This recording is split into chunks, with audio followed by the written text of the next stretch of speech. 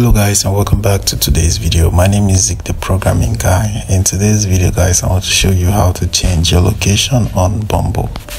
It's very easy so let's get started. Um the first step to take guys is to open your Bumble app and then you have to click on the profile icon at the bottom left corner.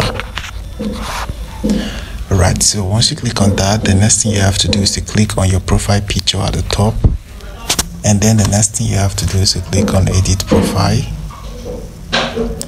After that, you just have to scroll down until you see um, this my basics section. So in the basics section, you find this location option, tap on that and click on update. Now you can choose a different location just like this and to be updated alright so guys that's how you can actually change your location on bumble. Hope this guide was helpful. If it was give this video a like and equally subscribe to get more helpful tips like this. Thanks for watching guys